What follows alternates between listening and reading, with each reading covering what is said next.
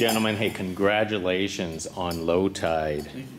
Hey, so uh, so tell me uh, why why you guys wanted to be in a project like this. I mean, this is this is a little indie gem. It is, yeah. We, I first got the script with Kevin's short film um, that was also attached to it. He made like a little short of like a proof of concept, and it was amazing. And that, along with how good the script was, I was like immediately drawn to Kevin and, and this project. And the characters are all so incredible and, and unique in their own way. So I think that's what stood out for me. Yeah, I like the script and um, the character, and, and I also saw like uh, Kevin's um, short sort of teaser version of the movie, and um, it was, yeah, it was appealing. Oh, that's interesting. What what what was the teaser version of the movie? Just just out of curiosity. I don't know. I think he just used it to like, uh, like get attention for it, but but uh, it was like this, uh, like atmospheric sort of look at the Jersey Shore and, and the characters and Yeah, I don't think there was any dialogue in it.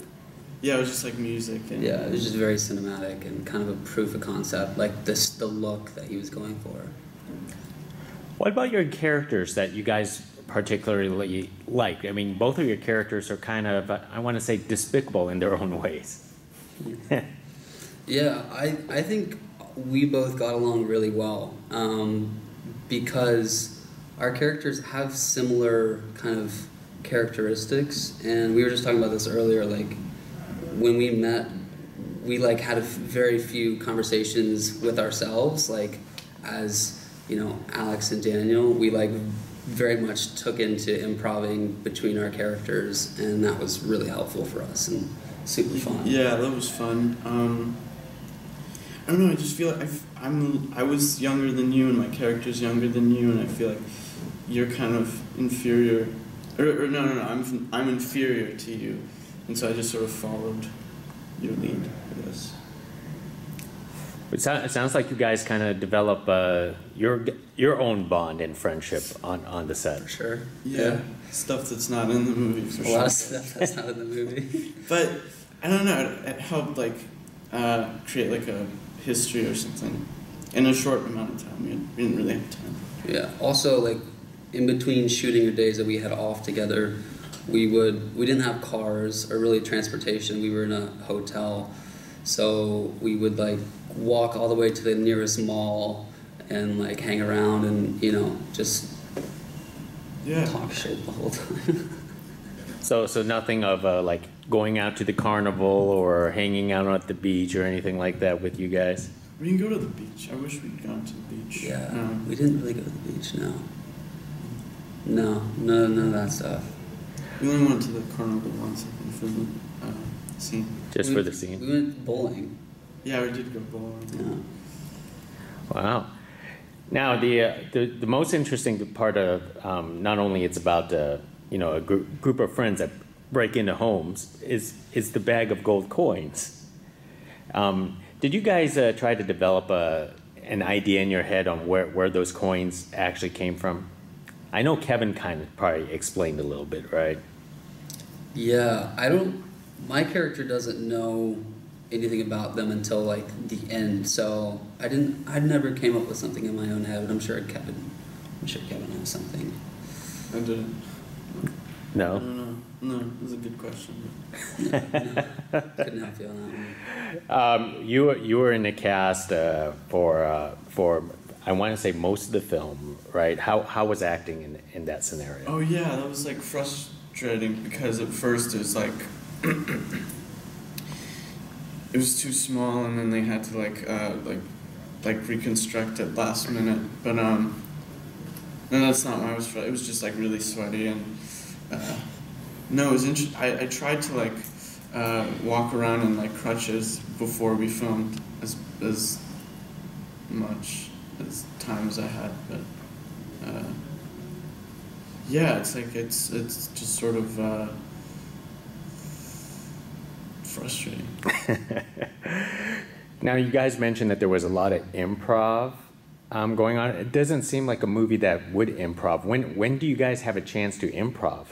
Just like, conversations? off, Off camera. Yeah, just before. Yeah, like before, like to get into scenes, um, to get like sometimes just tonally with like the mood of a scene.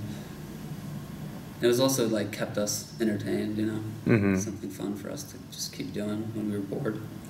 And, and how was Kevin's direction? Did he, did he encourage him, um, improv much during the production itself? I think, I think, I think he is. I think he was, but I don't think it was something that he was necessarily like.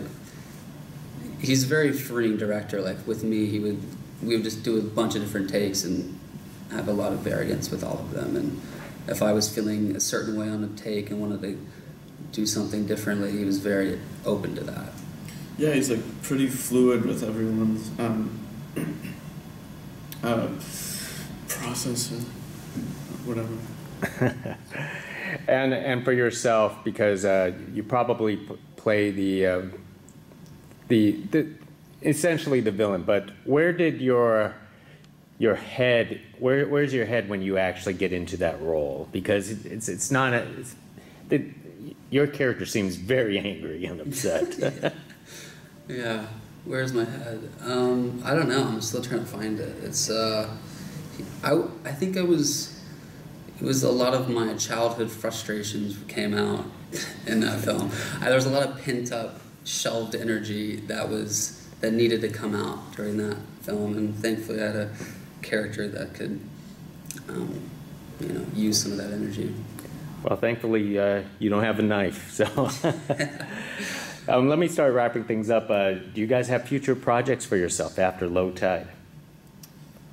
Yeah, I've um, a couple films in a in a series. Okay. I have a movie called uh, Things Heard and Seen. Um, I haven't shot it yet, but yeah, that'll be on Netflix. Excellent.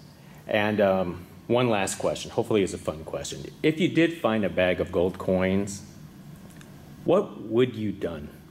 You have done. Would Would you spend it? Yeah. Tell your friends. I'd spend. Yeah, I'd probably spend it too. I wouldn't. I mean, unless it, unless I like it was stolen, but if I just found it randomly, isn't that you can, you can just coin that? For sure. Yeah. Yeah. Fi- Finders keepers, right? Yeah, exactly. Excellent, gentlemen. Hey, thank you very much. I really appreciate appreciate this Thank interview. you. Thank you.